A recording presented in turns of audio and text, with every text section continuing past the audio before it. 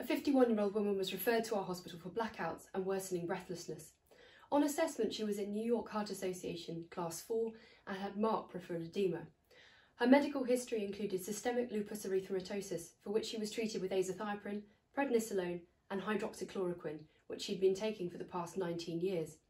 She had undergone a gastric banding operation 14 months previously, and her body mass index had reduced from 46 kilograms per metre squared to 25. On examination, the jugular venous pressure was elevated. She had bilateral peripheral edema and abdominal distension.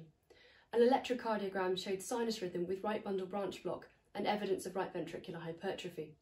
High sensitivity to troponin and N-terminal pro-B type natriuretic peptide were elevated and renal function was impaired. A transthoracic echocardiogram showed left ventricular hypertrophy, a small left ventricular cavity and impaired longitudinal function, but normal ejection fraction. Both atria were dilated and the right ventricle was impaired.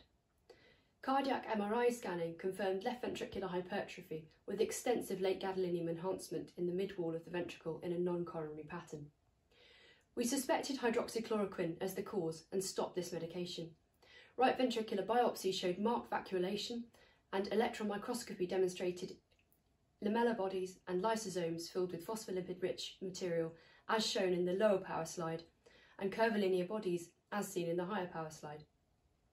The differential diagnosis of Fabry disease was excluded with gene testing and she improved over the most next 12 months with reduction in NYHA class and NT-proBNP.